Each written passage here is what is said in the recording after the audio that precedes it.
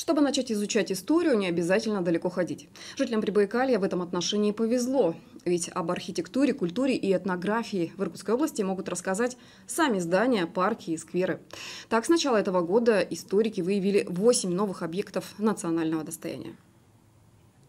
Таким образом, к началу июля в перечне памятников истории и культуры региона уже числится 119 наименований. Областной список Единого государственного реестра объектов культурного наследия народов Российской Федерации состоит как из памятников регионального значения, их 84, так и объектов местного значения, их насчитывается уже 35.